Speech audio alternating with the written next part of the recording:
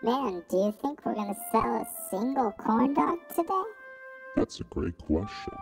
There's not a single person in sight. Haven't seen one all day. I know our location's terrible, but if we don't sell a single corn dog today, the boss could consider not hiring two of us on staff. Not having both of us? That'd be so boring. What adventures would we get into? That's a great point. We're gonna have to make sure that we sell at least one corn dog today to appease Barry. That means that any customer that walks by, we gotta wow them. We gotta dazzle them, we gotta zazzle them, we gotta sing, we gotta dance, we gotta do anything in our hearts to say to them, these are the corn dogs that you want to eat. You don't want to eat a Fred's Fish Sticks. That place sucks. Yeah, what's up with that guy? He's always such a grump. I mean, just look at him. He looks so grumpy right now. What do you think he's thinking? Just grumpy thoughts? You know what I'm thinking? I'm thinking that we should blow up his food cart. Yeah, that seems like a good idea, but he's probably got insurance knowing that guy. And he could get a huge check. Oh my gosh. Look, Oh man, is that what I think it is? A, customer? Quick, grab the Casio.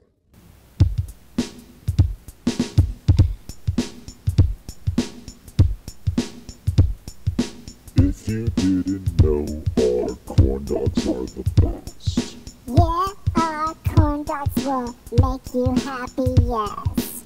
Our corn dogs are much better than those fish sticks. Don't eat there. Don't eat a Fred's Fish Sticks, they're the worst. Don't eat a Fred's Fish Sticks,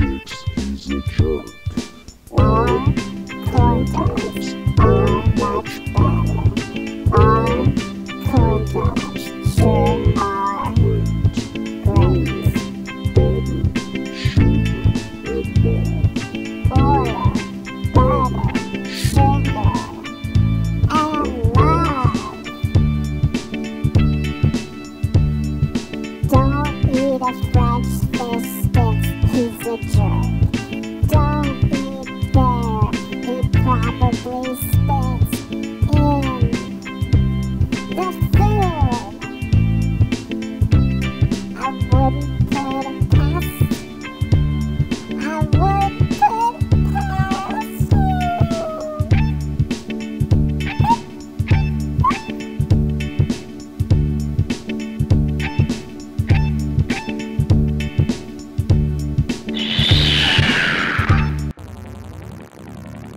no, Fred's launching missiles at us because we made a song about how much those food sucks.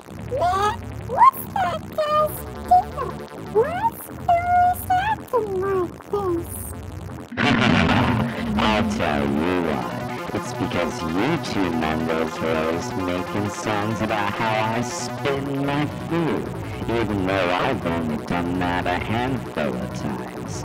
Now I haven't had a sale all day, and I'm not gonna lose this customer because you made a song about how my food sucks.